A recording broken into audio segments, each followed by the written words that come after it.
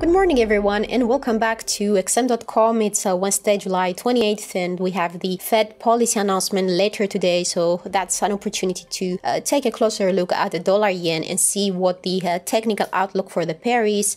So zooming into the daily chart, uh, we can see that the 20-day uh, moving average uh, managed to keep upside movements once again yesterday, sending the price towards the 109.73 support region where it is currently trying to rebound.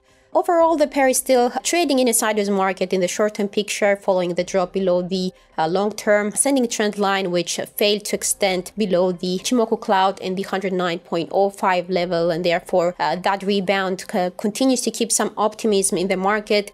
Uh, however, looking at the RSI, uh, the indicator is also in a sideways move around its 50 neutral mark, and the MACD uh, is muted as well around its zero signal line. So uh, technically, uh, this suggests that the pair may keep trading within a range in the short-term picture. Uh, nevertheless, we have the Fed policy announcement today, so some volatility cannot be ruled out. And in this case, I would look for a close above the 20-day moving average on the upside and the 110.40 resistance level for a sharper increase towards the uh, broken ascending trend line seen around 111.20.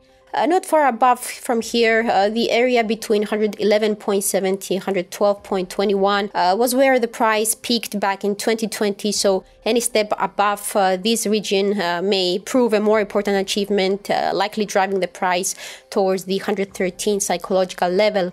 Uh, now, in the bear scenario, if the price uh, drops below 109.73, that uh, wouldn't be a big worry unless uh, the decline extends below the cloud and the previous low of 109.05. In this case, uh, the next stop could be within the 108.555 and 108.32 region, while lower, it would be interesting to see if the sell-off can bridge the support between 107.85 and 107.47 where April's rebound took place, and that such violation could bring the crucial 200 day moving average next into view.